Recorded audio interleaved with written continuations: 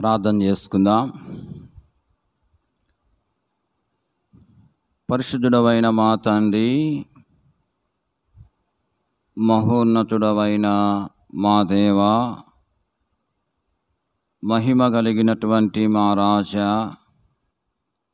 మీ పాద సన్నిధిలో చేరి మీ ప్రియ కుమారుడు మా రక్షకుడైన యేసుక్రీస్తు నామమున మీకు స్తోత్రమును చెల్లిస్తూ ఉంటున్నాం. ఇంతవరకు ఈ పరిచర్యలో మీరు మాకు సహాయపడుతూ వచ్చిన విధానము కొరకే మీకు స్తోత్రములు. మీ సన్నిధికి చేరి వచ్చిన వారిని బట్టి మిమ్మల్ని స్థుతిస్తూ ఉంటున్నాము. మీ చిత్తమైతే ఇంకా రావలసిన వారిని దర్శించి ప్రేరేపించి త్వరపెట్టి మీ సన్నిధికి తోడుకుందామని మీకు మనవ చేస్తూ ఉంటున్నాం. ప్రభా ఈ సమయంలో నిలబడుతున్న మీ దాసుని మీరు కరుణించండి. అయోగ్యుడను నిష్ప్రయోజకుడను నాయన మీ సన్నిధిని నిలిచి పరిచర్య చేయుటకు ఏమాత్రము అర్హత లేనివాడును మీరు నన్ను కరుణించి మీ కలవరి శిలువ రక్తము చేత మీరు నన్ను కడిగి పవిత్రపరచి మీ సిలువు చాటును మరుగుపరుచుకొని మీ ఆత్మపూర్ణగా చేసి అభిషేకించి వాడుకొనమని మీకు మనవి చేస్తూ ఉంటున్నాం. ఇదిగో నేను ఆదుకున్న సేవకుడని మీ వాక్యంలో రాయబడిన మాటను మీరు నా పక్షంగా నెరవేర్చండి. ఇదిగో నీ నోటి నా మాటలు ఉంచి ఉన్నానని మీరు సెలవిచ్చిన మాటను ప్రభా మీరు నా పక్షంగా నెరవేర్చండి. ఓ ప్రభు మీ పరలోకపు సింహాసనము నుండి మీ మెల్లనైన మధురమైన స్వరాన్ని మాకు వినిపించండి. మీ వాక్యము ద్వారా మేమెంతో ధైర్యపరచబడినట్లుగా బలపరచబడినట్లుగా ఆదరించబడినట్లుగా ప్రోత్సహించబడినట్లుగా క్షేమాభివృద్ధిని పొందినట్లుగా కృపను అనుగ్రహించండి. మీ వాక్యము ద్వారా ఓ ప్రభువా మేము దర్శించబడి మాలో ఉన్న లోపాలను గ్రహించి సరిచేసుకున్నట్లుగా మీ సహాయమును మాకు దయచేయండి. అయా ప్రతి విధమైన ఆటంకాన్ని దూరపరచండి. ఓ ప్రభా సంగమునకు మీరు ఇచ్చిన అధికారమును బట్టి యేసుక్రీస్తు నామములోనే అంధకార శేఖర శక్తులన్నింటినీ బంధిస్తూ ఉంటున్నాం. ఓ ప్రభా పరలోకంలో మీరు కూడా బంధించమని మీకు మనవు చేస్తూ ఉంటున్నాం. అన్ని విషయములలో మీ నామమునకు మీరు మహిమ తెచ్చుకునమని వందనములు స్తోత్రమును చెల్లించుకుంటూ మిమ్మల్ని స్థుతిస్తూ యేసుక్రీస్తు ప్రభు నామమున ప్రార్థించి స్తుతించి వేడుకొనొచ్చు తండ్రి. ఆమెన్.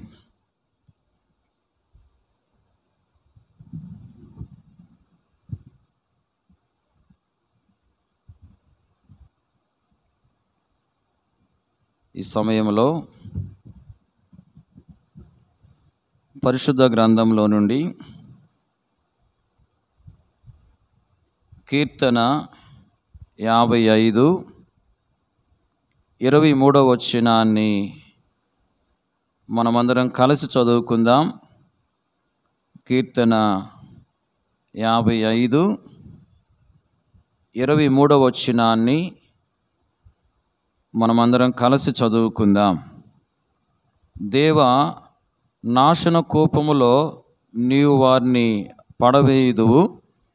రక్తాపరాధులను వంచకులను సగము కాలమైన బ్రతుకరు. నేనైతే నీ అందు నమ్మిక ఉంచి ఉన్నాను. యాభై ఐదవ కీర్తన దావీదు కీర్తన. అంటే ఈ కీర్తన దావీదు వ్రాస్తూ వచ్చాడు. ఈ యాభై ఐదవ కీర్తనలో చివరి వచనంలో భక్తుడైన దావీదు అంటూ ఉన్నాడు చివరి భాగంలో నేనైతే నీయందు నమ్మిక ఇంచి ఉన్నాను అని. ప్రిలారా భక్తుడైనటువంటి దావీదు దేవుని యందు నమ్మిక ఉంచినట్లుగా మనము గమనిస్తూ ఉంటున్నాం. తను అంటున్నాడు నేనైతే నీ యందు నమ్మిక ఉంచి ఉన్నాను అని. తాను దేవుని యందు నమ్మిక ఉంచినట్లుగానే దేవుని ప్రజలమైనటువంటి మనము కూడా దేవుని యందు నమ్మిక ఉంచాలి. భక్తుడైన దావీదు ఎలాగైతే దేవుని యందు నమ్మిక ఉంచాడో ఈ లోకంలో జీవిస్తూ ఉన్న మనుషులందరూ దేవుని యందు నమ్మిక ఉంచాలి.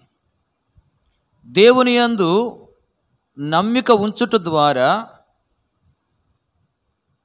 ఎన్నో ఆశీర్వాదాలు దేవుడు దయచేసేవాడుగా ఉంటున్నాడు.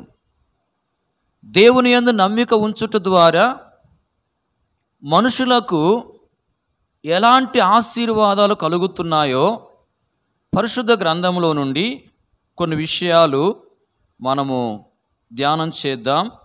చూడండి మొదటిగా కీర్తన ఇరవై రెండు నాలుగవ వచనం.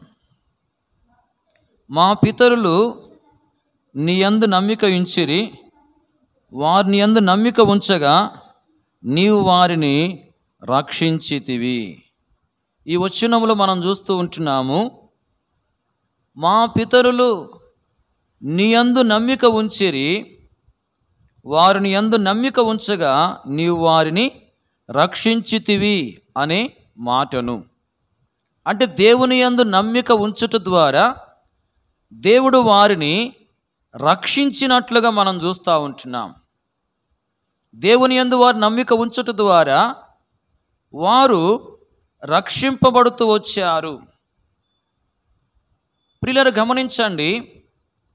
ఈ లోకంలో జీవిస్తూ ఉన్న మనుషులందరూ పాపులుగా ఉన్నారు కాబట్టి పాపులుగా ఉన్న మానవులందరికీ పాపాన్ని బట్టి శిక్ష అనేది ఉంది. ఏంది ఆ శిక్ష అంటే? నరకము.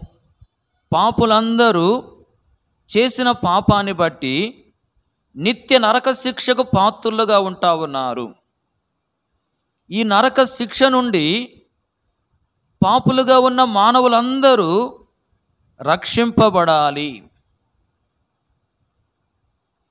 ఈ నరక శిక్ష నుండి పాపులైన మానవులను రక్షించడానికి ప్రభు అయినటువంటి యేసు క్రీస్తు వారు పరలోకంలో ఆయనకున్న ఘనతంతయు వదులుకొని శరీరధారిగా ఈ లోకములో కన్యక గర్భమందు దైవశక్తి ద్వారా పాపము లేనివాడుగా జన్మించాడు.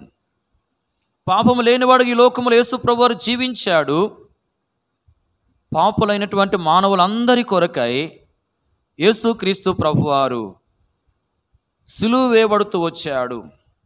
పాపులందరూ చేసిన పాపాన్ని బట్టి పాపులందరూ పొందవలసినటువంటి శిక్షను ప్రభు అయినటువంటి యేసుక్రీస్తు వారు ఆ కలవర సులువలో భరించినటువంటి వాడుగా ఉన్నాడు. ప్రియులారు మనం చేసిన పాపాన్ని బట్టి యేసు ప్రభు యొక్క చేతుల్లో చేల కొట్టబడ్డాయి. యేసు ప్రభు యొక్క పాదాల్లో మేపు కొట్టబడింది. యేసు ప్రభు యొక్క పక్కలో బల్లిపోటు పొడవబడింది. యేసు ప్రభు యొక్క తలకు ముర ముళ్ళ కిరీటం పెట్టబడింది. యేసు ప్రభు వారు నలగొట్టబడ్డాడు. యేసు ప్రభు వారు గాయపరచబడతా వచ్చాడు. తన సొగసును స్వరూపాన్ని కోల్పోయాడు. చూడనోలనే వానిగా చేయబడుతూ వచ్చాడు. ఈ విధంగా యేసు ప్రభు వారు పాపులైనటువంటి మానవులందరినీ నరక శిక్ష నుంచి రక్షించడానికి పాపులైన మానవులందరికీ బదులుగా ఆ కలవరి శిలువలో శిక్షను భరించి తన ప్రాణం అర్పించాడు. సమాధి చేయబడి తిరిగి లేచాడు. పాపులైనటువంటి మానవులకు బదులుగా పాపులైనటువంటి మానవులను నరక శిక్ష నుంచి రక్షించడానికి ఆ కలవర శిలువలో శిక్షను భరించిన యేసుక్రీస్తు ప్రభువునందు ఎవరైతే నమ్మిక ఉంచి హృదయపూర్వకంగా పాపాన్ని ఒప్పుకుని క్షమించమని ప్రభువును అడుగుతారో ఆ ప్రభువు వారి పాపములన్నీ క్షమిస్తాడు. ఆ ప్రభువు వారిని నరక శిక్ష నుండి రక్షిస్తాడు. ఎల్లప్పుడూ సంతోషముండే పరలోకానికి వారసులుగా చేస్తాడు.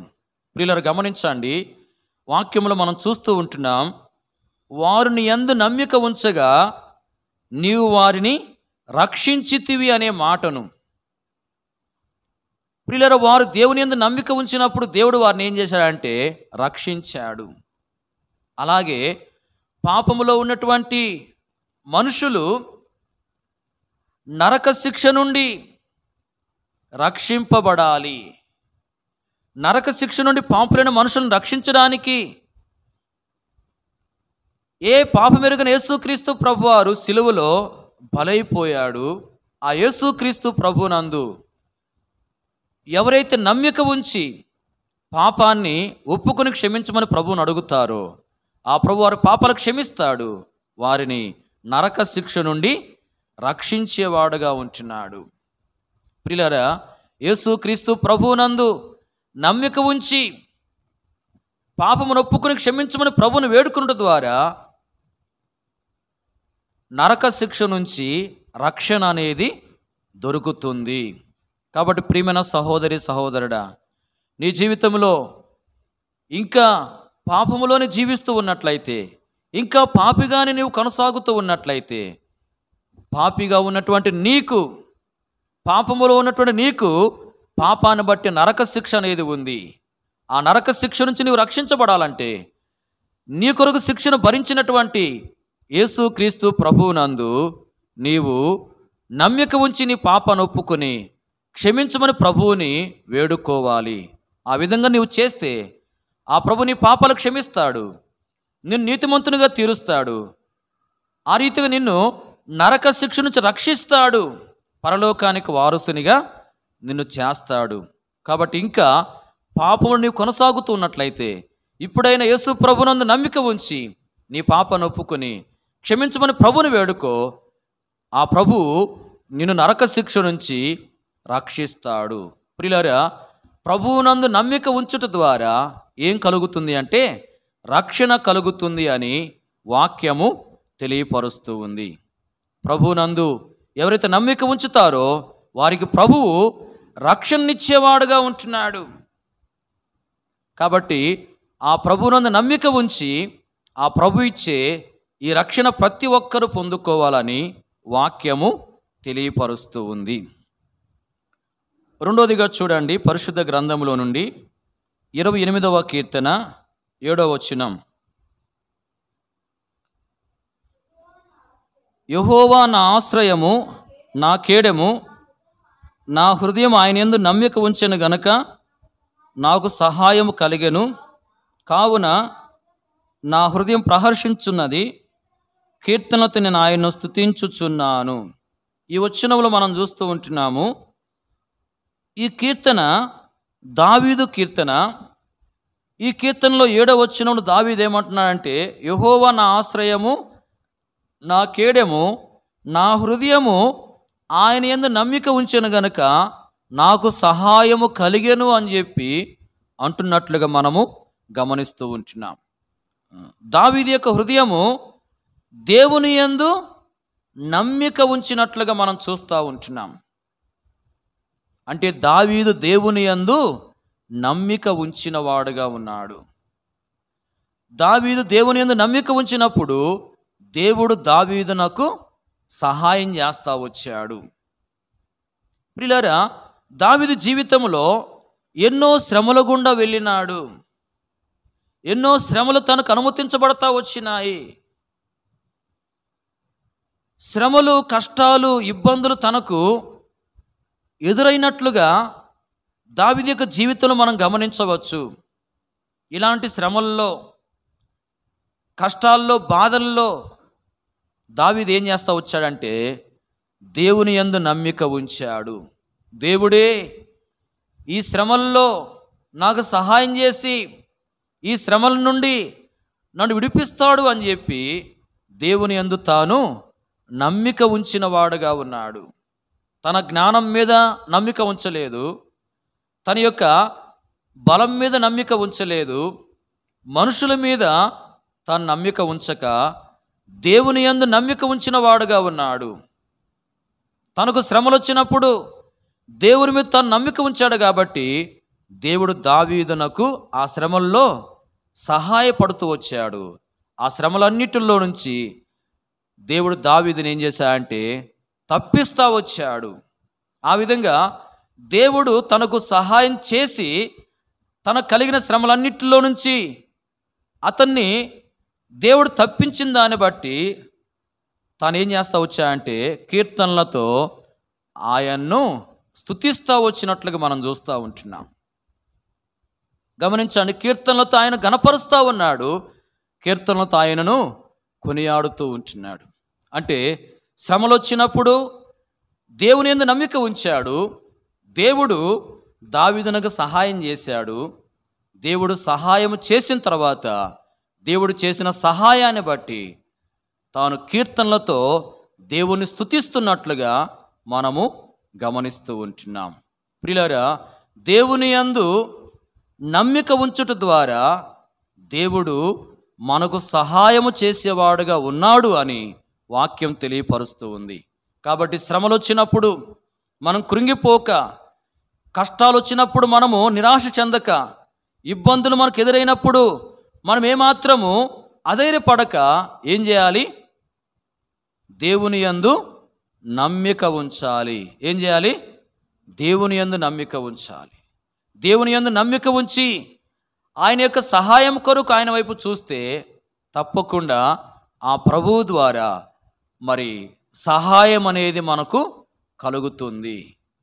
కాబట్టి శ్రమల్లో కష్టాల్లో ఇబ్బందుల్లో మనము దేవుని యందు నమ్మిక ఉంచి దేవుని యొక్క సహాయము కొరకై ఆయన మీద మనం ఆధారపడితే తప్పకుండా ఆ ప్రభువు సహాయం చేసేవాడుగా ఉంటాడు.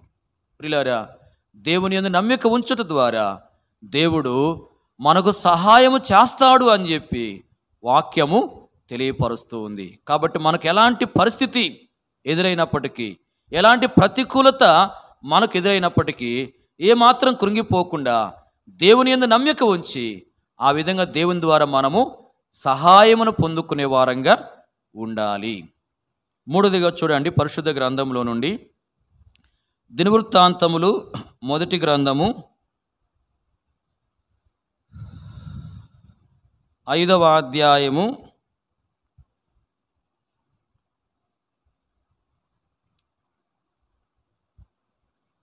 ఇరవయో వచనం. ఇరవై ఇరవై ఒకటి వచ్చినాలు యుద్ధమందు వారు దేవునికి మొరపెట్టగా ఆయన మీద వారు నమ్మిక ఉంచినందున ఆయన వారి మొర ఆలకించెను. గనుక వారిని జయించుటకు వారికి సహాయము కలిగాను. ఈ అధ్యాయంలో రూబేనీయులు గాదీలు మనిషి అర్ధగోత్రపు వాళ్ళు వేరే జనాంగం మీదకి యుద్ధానికి వెళ్ళినట్లుగా మనము గమనిస్తూ ఉంటున్నాం. యుద్ధం జరుగుతూ ఉన్నప్పుడు ఈ రూబేనీలు గాదీలు మనిషి అర్ధగోత్రపు వాళ్ళు ఏం చేస్తూ వచ్చారంటే దేవునికి మొరపెట్టినట్లుగా మనం చూస్తూ ఉంటున్నాం. ఎప్పుడు? యుద్ధమందు అని చెప్పి రాయబడింది. అంటే యుద్ధం జరుగుతూ ఉన్నప్పుడు వాళ్ళు దేవునికి మొరపెట్టారు దేవునికి ప్రార్థన చేస్తూ వచ్చారు. ఎలాగూ దేవునికి వారు మొరపెట్టారంటే వాక్యంలో రాయబడింది ఆయన మీద వారు నమ్మిక ఉంచినందున ఆయన వారి మొర ఆలకించాను అని. అంటే దేవుని యందు నమ్మిక ఉంచి దేవునికి వాళ్ళు మొరపెట్టారు. యుద్ధములో దేవుడే మనకు విజయాన్నిస్తాడు. దేవుడే శత్రువులను ఓడించడానికి తగిన శక్తిని మనకిస్తాడు అని చెప్పి వారు మరి దేవుని మీద నమ్మిక ఉంచి దేవునికి మొరపెట్టారు. దేవుని మీద నమ్మిక ఉంచి దేవునికి మొరపెట్టారు కాబట్టి దేవుడు వారి యొక్క మొరను ఆలకించాడు. మరి ఆలకించి శత్రువులను జయించేదాని కొరకై దేవుడు వారికి సహాయము చేస్తా వచ్చినట్లుగా మనము గమనిస్తూ ఉంటున్నాం. అంటే ఇక్కడ రూబేనీయులు గాదీలు మనిషి అర్ధగోత్రపు వాళ్ళు దేవుని మీద నమ్మిక ఉంచి దేవునికి ప్రార్థన చేయటం ద్వారా వాళ్ళు చేసినటువంటి ప్రార్థన దేవుడు ఆలకించి శత్రువులను ఓడించే శక్తిని దేవుడు వారికి ఇచ్చినట్లుగా మనము గమనిస్తూ ఉంటున్నాం. అంటే దేవుని యందు నమ్మిక ఉంచుట ద్వారా వారికి కలిగిన మేలేందంటే వారి యొక్క ప్రార్థన దేవుడు ఆలకించాడు. వారు దేవుని యందు నమ్మిక ఉంచుట ద్వారా వాళ్ళు దేవునికి చేసినటువంటి ప్రార్థన దేవుడు ఆలకించినట్లుగా మనం చూస్తూ ఉంటున్నాం. అంటే మనము దేవునికి ప్రార్థన చేయటం ద్వారా మరి దేవునికి మనం ప్రార్థన చేసినప్పుడు మనం చేసే ప్రార్థన దేవుడు ఆలకించి మనం దేని కొరకైతే దేవుని అడుగుతున్నామో దాన్ని ప్రభు మనకి ఇవ్వాలి అంటే మనం ఏం చేయాలంటే దేవుని యందు నమ్మిక ఉంచి దేవునికి ప్రార్థించే వారంగా ఉండాలి. అంటే నమ్మికతో దేవునికి ప్రార్థించాలి. ఎవరైతే దేవుని యందు నమ్మిక ఉంచి దేవునికి ప్రార్థన చేస్తారో వారు చేసే ప్రార్థన దేవుడు ఆలకిస్తాడు. వారు దేవుని ఏదైతే అడుగుతున్నారో దాన్ని వారికి దేవుడిచ్చేవాడుగా ఉంటున్నాడు. ఇక్కడ రూబేణీలు గాదీలు మనుష అర్ధగోత్రపు వాళ్ళు యుద్ధము దేవునికి ప్రార్థన చేస్తూ వచ్చారు. దేని కొరకు ప్రార్థన చేశారు? దేని కొరకు? ప్రభా మాకు మరి విస్తారమైన వెండి బంగారాలు కావాలి అని చెప్పి దేవుణ్ణి అడిగారు వాళ్ళు? అడగలేదు. వాళ్ళు దేని కొరకు దేవునికి ప్రార్థన చేస్తున్నారంటే మరి మనం గమనించవచ్చు ప్రభా ఈ శత్రువులతో మేము యుద్ధం చేస్తూ ఉంటున్నాము. వారిపై మాకు విజయాన్ని ఇవ్వు అని చెప్పి ప్రార్థన చేస్తూ ఉన్నారు.